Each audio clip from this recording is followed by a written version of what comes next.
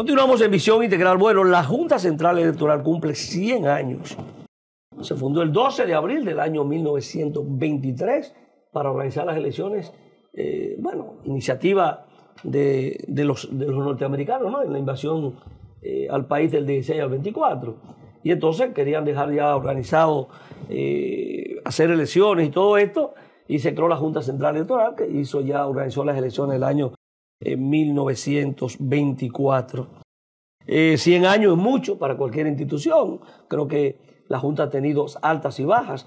buenos. El eh, proceso anterior fue Buenos presidentes de la Junta Central Electoral. Uno no está bueno, eh, gente que ha salido muy cuestionada, eh, pero gente también que, ha demostrado tener mucho valor y que ha, hecho, ha asumido con responsabilidad eh, el papel que le corresponde jugar en, medio de en una institución como esta. Y creo que la Junta hoy es una institución con bastante solidez, una institución que está en capacidad de asumir las responsabilidades los roles que le corresponde en este momento. está al frente de una persona que creo que tiene todas las condiciones, toda la formación, que es eh, el licenciado Román Jaques, que es el presidente, actual presidente de la Junta Central Electoral. Y creo que el anterior presidente Roberto Rosario para mí hizo una gran, el anterior, no, no el anterior, eh, eh, el, el que tuvo antes de que organizó las elecciones pasadas, que no quedó bien, que no quedó bien con la, la suspensión de esas elecciones. La Junta tuvo una situación bastante y, usted lo ve por complicada. usted, lo ve por ahí dando recomendaciones. Yo creo que Mire. Y han pasado muchísimos años. Lo, lo, que pasó las elecciones pasadas, yo creo que Román Jaque tiene un gran reto ahora. Ah, sí, claro. Porque él tiene que eh, romper con el esquema mental que se instaló con el hecho y la encuesta, la... la encuesta hace una, hace una valoración de, la, de la Junta y, queda muy bien posicionada. hay confianza en que la Junta puede llevar a cabo este proceso sin mayores consecuencias y traumas. Y yo pienso, y es un llamado a la Junta, que ellos actuaron de forma conservadora con relación al voto electrónico. Se decidieron por hacer el voto tradicional. ¿El voto manual? En boleta. Pero, el conteo, pero el conteo es automatizado.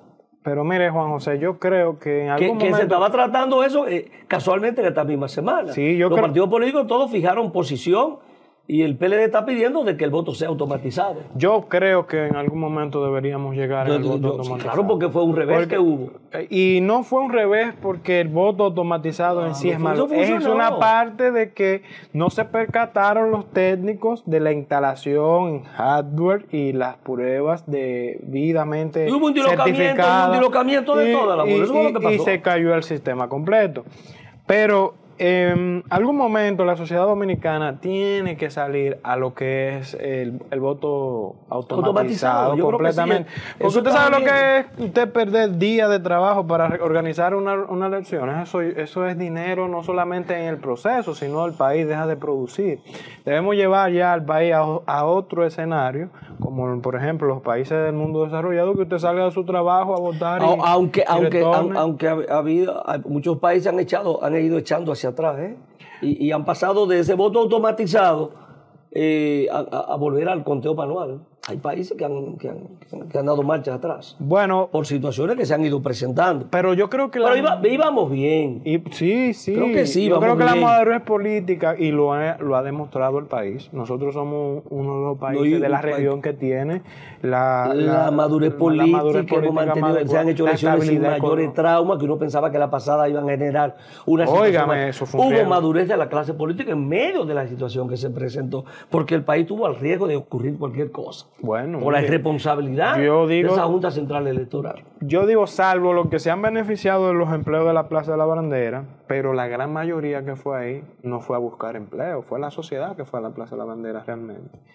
Y, eso fue un bajadero, un, un desahogo, vamos a decir, de lo que posiblemente hubiese sido una revuelta social. Y el, el civismo que se mostró en la Plaza de la Bandera, la organización, y el comportamiento de la, de la población, comportamiento, de la población fue ejemplar, ¿eh? fue ejemplar. Y la sociedad, no solamente los partidos políticos, Juan José, la sociedad ha demostrado tener una madurez, que lo que quiere es progreso, que lo que quiere es que los partidos políticos cumplan las leyes, que no haga corrupción. Estamos, por eso somos un modelo, por eso la, la democracia eh, ha crecido hemos tenido, hemos tenido procesos democráticos sin alteración del orden constitucional durante los últimos 40 años.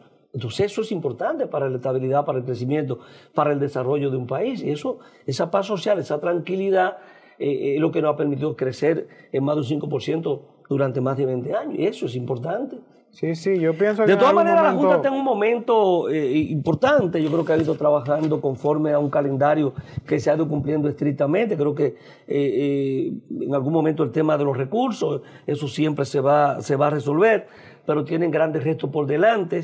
Yo creo que, que es, hay, el tal- hay grandes desafíos con el tema de que el presidente pues, lo planteaba en estos momentos, aparte de todas las actividades que hicieron, ¿no? Eh, actividades para conmemorar los 100 años el tema del gasto en la campaña, poder frenar un poco el gasto de campaña, eh, eh, ser rígido con, Y la con- fiscalización con la aplicación de los de la de ley, la fiscalización, para que no se cuele gente ahí de, de- de procedencia eh, Dudosa. dudosa, como ya ocurrió en el pasado, que hay legisladores que llegaron ahí vinculados con temas de narcotráfico, porque están ahí los casos como han ocurrido. Yo Y creo que los partidos y- tienen responsabilidad en la depuración de, la, de su candidato, pero la Junta tiene también un gran rol y una gran responsabilidad en todo eso y parece que el presidente está en esa dirección. Pero vamos a ver. Mire, y usted hablaba fuera de cámara con relación a, a la designación y del embajador chino esta semana. y- Actúa muy rápido, dos meses. eh, Bueno, y- mire, y, y los chinos están enviando un mensaje con eso, porque ahí podemos vincular dos temas. Hay una visita de, de la subsecretaria de Estado y el país se encuentra en el preámbulo de que eh, no tenemos embajador pero, norteamericano, pero tampoco tenemos eh, encargado de negocio. ¿Y qué, ¿Y qué está pasando ahí? ¿A quién es que tenemos entonces aquí? Bueno, y a eso está Céfalo, ahí en la embajada. No, no, el, consulado, el cónsul está. No, el cónsul está, pero, pero, Pero un eh, representante. hay de- bueno, no hay, Sí, un encargado de negocio. Un representante, tiene que haber uno. Bueno, ellos tendrán algún cargo, yo- no conozco el nombre, pero eh, oficialmente no hay encargado de negocio y tampoco hay embajador. Hay un representante de la embajada, que es el que asume, si tiene que alguien, alguien asume. Pero- Ahora, fíjate la rapidez con que eh, eh, eh, China actúa como país, ¿no? La República Popular China, y decide un embajador, dos meses que había salido el embajador, que se mantenía despachando los temas con la delegación de la embajada, con, con- con- el personal de la embajada, y inmediatamente designan un embajador, el embajador que llegó en esta semana, el embajador Chen Lunin. Llega esta semana. Entonces, los Estados Unidos Y nosotros somos uno de los ¿Cu- principales. ¿Cuántos aliados. años ya nosotros tenemos sin, sin eh, tener una representación diplomática, sin tener un embajador en el país? Ya van varios años. Y entonces como que no nos dan importancia. Entonces, por eso fíjate cómo China ha ido tomando espacios No en América Latina y en el mundo. Pero cuando tú ves lo que ha ocurrido con las inversiones chinas, eh, lo- lo- En América, vamos a tomar en- América. En todo tipo, todo tipo de inversión, eh, eh, esto dice, bueno, eh, lo que está ocurriendo es que Estados Unidos se ha ido descuidando de la región y los chinos se han ido apoderando de áreas eh, económicas Estratégica. estratégicas en la región. Entonces, eh, de repente Estados Unidos empieza a perder y donde tiene más presencia en la parte que tiene que ver con, con los temas de seguridad, militares y ese tipo de cosas, de cooperación. Me mandan ahora aquí esta señora, la señora Wendy Sherman, y dice, bueno, ¿a qué viene? ¿Cuál es su agenda? Porque no es un tema de cooperación, de que vamos a hacer esto y vamos a hacer aquello, y que tenemos buenas relaciones y que hay buenas intenciones. No, déme la importancia, mándeme un embajador. Ya son tres damas que han venido al país en los últimos, en los últimos meses y han venido con agenda definida para trazarle pauta al país. Por suerte el presidente ha mantenido su posición, porque la que nosotros, el tema principal de nosotros en todo momento, ¿cuál debe ser? Bueno, Haití. El tema haitiano. No es que me den 300 mil dólares, eh, 3 millones de dólares, 5 millones de dólares para, 6 millones de dólares como en este caso, para desarrollar programas de fortalecimiento institucional y todo esto. No, es el tema haitiano. Dame el que- carácter que- como país. Exacto. Mándame el embajador. O sea, ¿cuándo y cuándo hay una decisión de los Estados Unidos real de decir, no, la República Dominicana, como el presidente lo plantea, no puede con este problema, no somos nosotros la solución del problema en Haití, es la comunidad internacional, son ustedes los que tienen que hacerlo. Pero sin embargo a nosotros no nos hacen caso. Entonces, lo que nos quiere es seguir estableciendo una agenda. Y mire que China. Una agenda para que nosotros sigamos asumiendo responsabilidades más allá de lo que nuestras posibilidades lo permiten.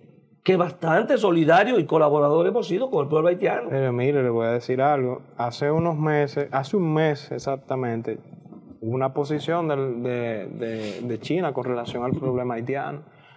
Si los Estados Unidos se descuidan, como se han descuidado, y no se empoderan regionalmente con ese, con ese, con ese tema, China fácilmente, oiga que se lo digo hoy, no se puede tomar el... Pero mire, mire, mire, mire los gobiernos de América Latina, qué es lo que ha ocurrido en los últimos tiempos.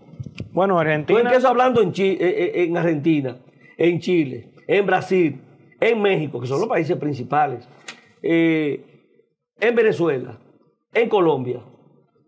Y si te vas a Centroamérica, entonces agarra. El Salvador. El Salvador, Nicaragua, eh, Honduras.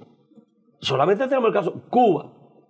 O sea, tú dices, bueno, o sea, son gobiernos que, que no comulgan mucho con los Estados Unidos que, que están dispuestos a, a, asumir posiciones contrarias. Yo, no entonces tú no entiendes por dónde que va la política de los Estados Unidos, es como una que es tu área de incidencia. Óigame. Entonces los chinos, las inversiones chinas, están por encima de las inversiones norteamericanas en la mayoría de los países que hemos mencionado. A Bolivia. ¿Mm? O sea, tú dices, es toda América Latina casi. Y cuando usted evalúa eh, el tema de, de la hegemonía china, en América. y, uno se queda usted tiene una administración, vamos a tomar el caso dominicano, en donde este actual gobierno, lo primero que hizo fue, dice, yo soy totalmente aliado de los Estados Unidos y, la organización, y la ONU. La Organización de las Naciones Unidas. Y lo que ha pasado en la realidad, y yo recuerdo, porque vamos a acordarnos, la toma de posesión del actual gobierno. O sea, una inclinación más a los Estados Unidos, un poco a Usted vio dónde estaba el embajador chino. Claro, claro. Y mire Pero sin embargo, ¿qué ocurrió? Mire cómo China se ha comportado. Y, no, y, y, el tema de la vacuna, que siempre tenemos que recordarlo. Si las vacunas chinas no llegan a este país, sabrá Dios lo que hubiese ocurrido en términos, en términos de salud. O sea, el tema del COVID, los estragos que hubiese hecho, yo no sé de qué mención hubiese sido, si nosotros no, no nos llega la vacuna china. Porque aquí la mayoría de los dominicanos tienen la vacuna china. Entonces, eso, esas son las cosas que tú tienes en términos de, de, colaboración y de solidaridad. Y yo recuerdo que cuando eso habíamos iniciado nosotros el programa, estábamos fresquecitos. Y yo decía que no era estratégico usted tomar una postura hacia un lado de la balanza tan marcada. Eso no, eso no es estratégico en diplomacia, de por Dios. Eso, de todas maneras, China sigue tomando fuerza, sigue apoderándose de, de, de posiciones muy estratégicas en la región y los Estados Unidos al país no han sido, eh, no han reciprocado la, la, amistad, la, eh, la distinción, eh, la colaboración y todo esto que, tiene que ver con el comportamiento nuestro hacia los Estados Unidos. Yo creo que no han sido recíprocos. Yo creo que el país merece que se le considere y se le valore un poquito más. Porque lo viven sancionando y ahora con el tema de los turistas, recuérdense que afectó el turismo. Sí, la posición del Departamento la posición de Estado. Del Departamento de Estado. Ahora sacaron un comunicado ahí en, un periódico estadounidense, no recuerdo el nombre, que éramos racistas. Entonces, todo ese tema, en vez de ayudarnos, lo que hacen es que nos generan algunos problemas. Vamos a ver qué pasa. Si China no estuviera tan lejos, esto estuviera lleno de chinos todos los días, pero que estaba muy distante para el turismo chino. Mire, eh, la situación económica global, eh, tanto el Fondo Monetario Internacional como el Banco Mundial, pues han estado hablando sobre el comportamiento de la economía, el tema de la recesión, que por más decisiones que se han tomado, eh, que han tomado los bancos centrales de todos los países, la Reserva Federal, el caso de Estados Unidos, el tema inflacionario, pues no, no cesa, ¿no?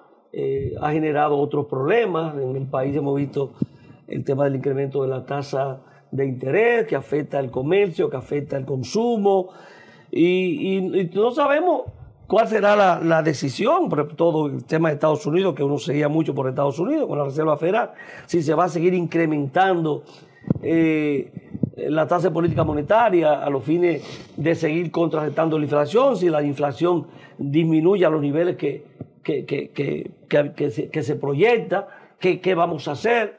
¿eh? Vamos a seguir incrementando el tipo de interés, la tasa de interés. Bueno, aquí se ha frisado la tasa de interés. Ya, van varios meses donde no hay incremento. Pero la tasa de interés en, los Estados Unidos ha continuado aumentando la política monetaria. Genera algunas distorsiones en términos financieros, el incremento de los préstamos, mucha gente entre morosidad, porque en Estados Unidos, imagínate, de tú tener una tasa cero, ¿cuánto que está ahora mismo? No tengo el dato ahora mismo. Eh. Pero, pero a, los niveles que ha llegado, 4.5, algo así, por ahí que anda. Entonces tú dices, es que es un incremento para una economía como los Estados Unidos increíble. Y, el, y, el, y, la inflación, pues tampoco se detiene. No se frena la inflación. Y ese es el problema que tenemos. ¿Cuáles son las medidas que se van a adoptar? Y el impacto que tiene en el crecimiento. Porque, ¿dónde impacta ahora mismo? En el crecimiento hay, noticias... Las proyecciones de crecimiento se ven afectadas. Mire, hay noticias positivas dentro de ese marco de la crisis global, lo, incluyendo la reapertura de la China. China ha, dado apertura a todas sus fábricas, a sus puertos, eh, de manera operacional. Y los signos de, de, la resiliencia de Europa por la quiebra o la posible quiebra de algunos bancos europeos en donde se, se, hubo una nebulosa. Pero sea, todo esto se ha detenido, importante. y la caída de los precios de la energía, aunque hay que tomar como cotejo ahí que la OPREP se reunió y decidió, la OPREP, OPEP. decidió bajar la producción a nivel mundial, eso podría repercutir con los precios de, de los combustibles y, las reservas norteamericanas de, en petróleo han disminuido. Aquí hay que ver cuáles son las medidas internas que se pueden tomar. Eso hay que esperemos, ahí voy, esperemos que el, ver el, panorama mundial y cuáles son las cosas que hay que hacer para que eso que está ocurriendo en esa encuesta, todo ese tema de, de la inflación, que, que, son las cosas que más eh, la gente siente, eh, no se detiene, tuve el incremento de los precios permanentemente, toda la gente ya está en una situación de desesperación. Entonces hay que ver cuáles medidas yo puedo tomar para ver si puedo aliviar un poco la carga de la gente, qué es lo que hay que hacer. El tema, eh, eh, en términos económicos, siempre hay la posibilidad de tú tomar eh, algunas decisiones para que la situación de la gente sea menos complicada a nivel de, la, de las pequeñas empresas, con el tema del que tiene que ver con el, el, anticipo, que se ha cuestionado bastante, quizás es un momento para tú evaluar y ver que, que ese anticipo, sobre todo para las pequeñas empresas, las microempresas, las medianas empresas, eh, puede abolirse esa decisión, que fue una promesa que se hizo en algún momento, y si las grandes empresas pueden hacerlo, pues perfecto, pero hay que ver si esa carga se aliviana, porque yo creo que es un, es un golpe bastante fuerte cuando tú tienes que buscar dinero, recursos para pagarle al fisco que tú no te has ganado y que tú no sabes si te lo vas a ganar. hemos llegado al final de Visión Integral y entonces nos despedimos. Hasta la próxima semana, ¿qué le parece? Bueno, tendrá que ser así. Nos vemos el próximo domingo, Dios mediante.